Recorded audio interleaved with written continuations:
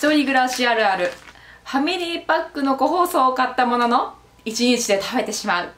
どうもまみです。あのバイトのやらかしあるあるっていう感じでやっていこうと思ってます。よくさ自分は何かやらかした時に Twitter で検索かけて仲間意識をね芽生えさせるっていう話を一回したことがあると思うんですけどその通りでやらかした時に自分だけ一人やって思いたくないね。この便利な時代に生まれてくれたおかげで全国でね Twitter でね同じようなやらかしをしてる人がねツイートしてくれてるんですよ。例えば iPhone 割れたとかさ iPhone 割れたって多分今日もう全国に割れた人多分いっぱいおんで。はい。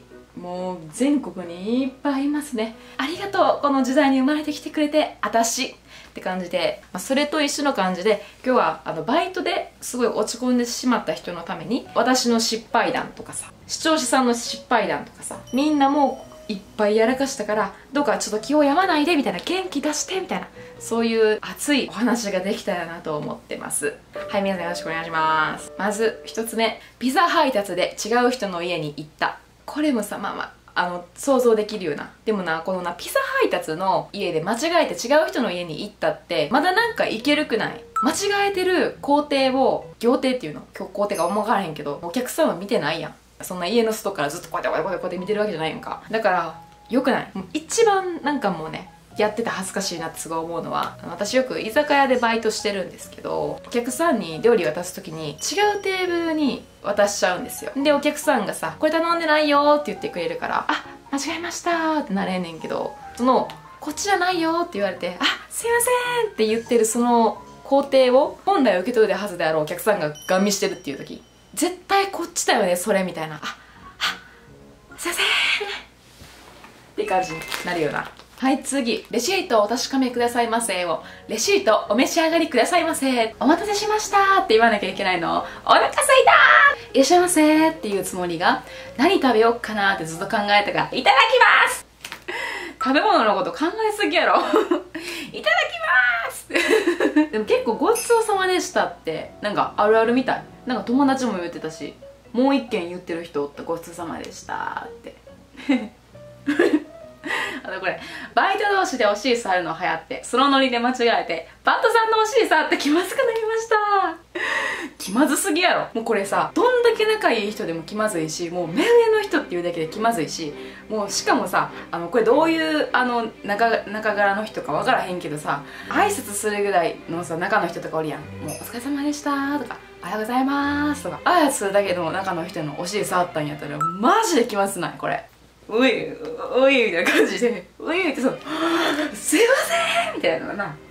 マミっ消えたくなるのそんなんしたら。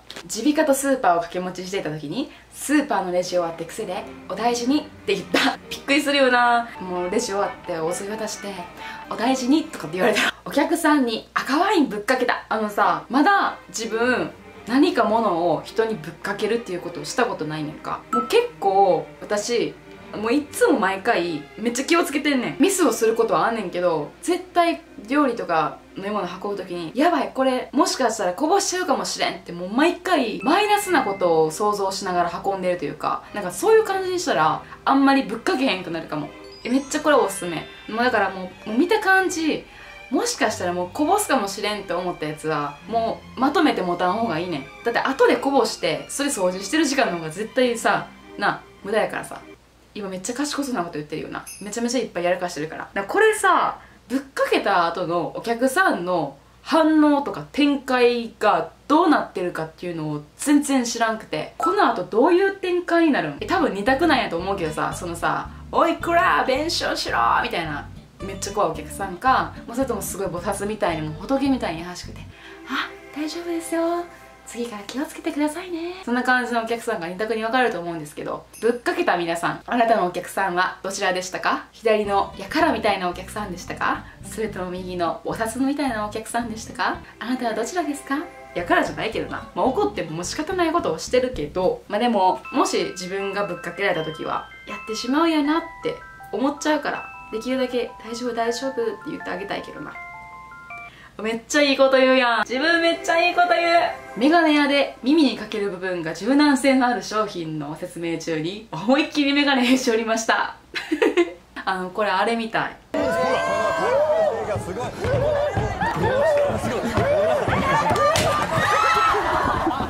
あれ思い出したわ。お釣りって意味で外国人のお客さんが手を伸ばしてきたのを握手求められてると思ってレジで握手した。なんか外交結んだ時みたいな感じやな。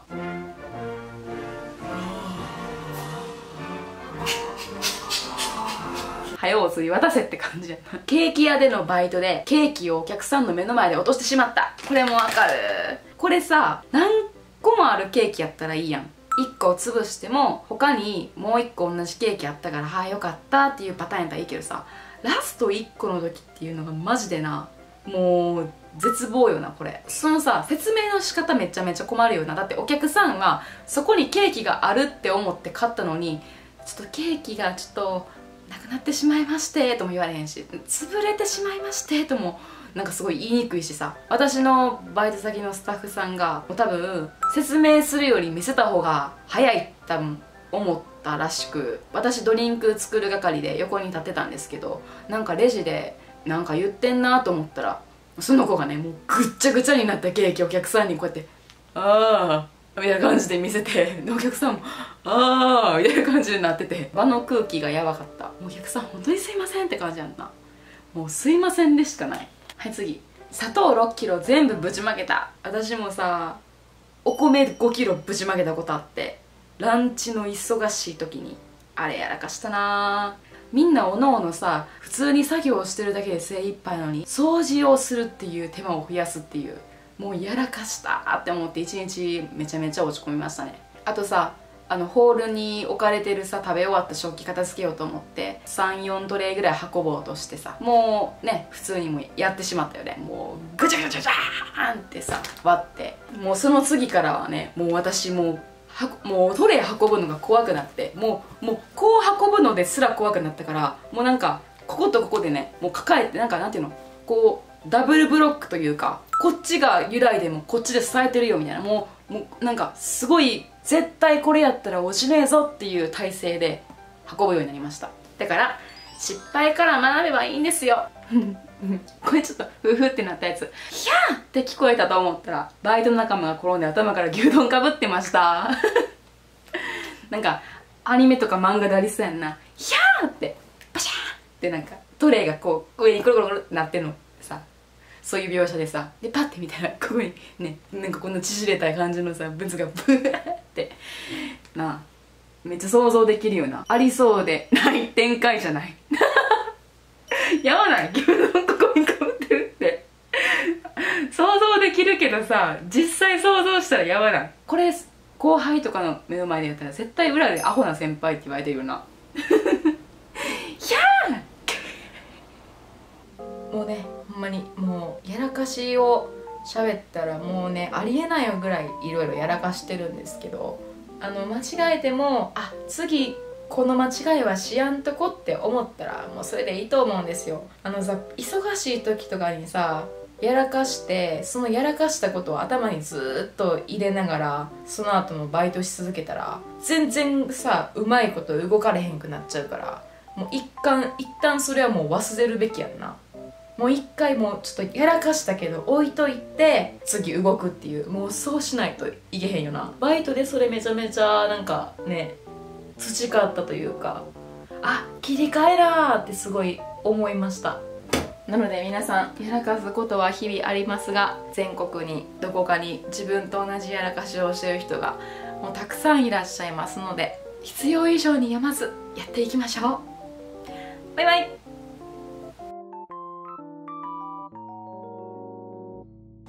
はいこれ。まだ食べてるお客さんのお茶碗片してブチ切れられた。気持ちめっちゃわかる。人にったらお客さんってさ好き嫌い結構ある人って好きなものだけ食べてもう食べへんみたいな人もおるやけやんか。だからこっちからしたらあの食べたいんか食べたくないんかもうまず分からへんし片付けていいか片付けたらあかんのかも分からへんし。でもあの洗い物してる人からさなんか声がかかんねん。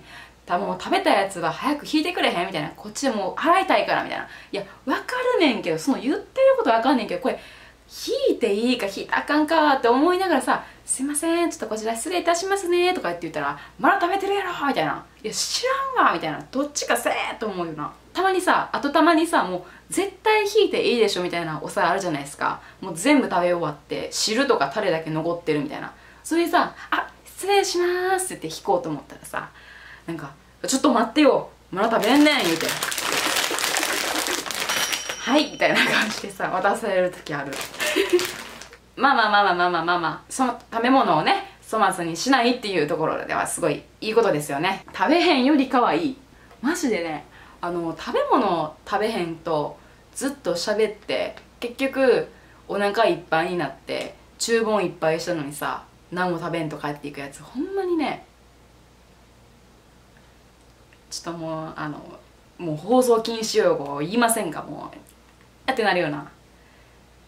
ちゃんと頼んだものはしっかり食べてください。なんか私居酒屋とかでご飯食べてて目の前に美味しいご飯があるのにそれを食べんと喋り続けるっていうことができないんですよ。おつまみっていう概念が庶民わからんねん。だからもうご飯来たらもう速攻箸でつまむで。もうみんなつまんでなくてもすぐつまむ。で食べへんかったら「え食べへんのみんな？えマリが食べようか?」みたいな感じになって。なんかもうとりあえずつまんでる。だってさ目の前に美味しいご飯あんねんで。もう分かったって感じやなこの話。な。食べろよってならん。食べたいってなるよな。あとはまあまあいただいたやつであこれこの話知りたいなと思ったやつのそのエピソード終わったんですけど。あと私も今まですっごいいっぱいやらかして一回ねほんまにねやらかしたと思ったのがあのね大阪でめっちゃ有名なチーズケーキ屋さんがあって。あのふわふわの方のチーズケーキ屋さんがありまして私そこで一番初めバイトしてたんですよ。んで朝そのねプルンプルンのチーズケーキをね袋にこうやって入れようと思ったんですよ。でもケーキのその下にこうシュッて入れるなんかナイフみたいなのあるじゃないですか。ベラって言ったらいいんかな。それがね下にシュンって入れたつもりやったのにもうねボーリングみたいな感じでシュンって向こうに思いっきり飛ばしちゃってるケーキを。だから下に入れへんままもう店の入り口の扉の前ぐらいまでバーンってさやばかったね。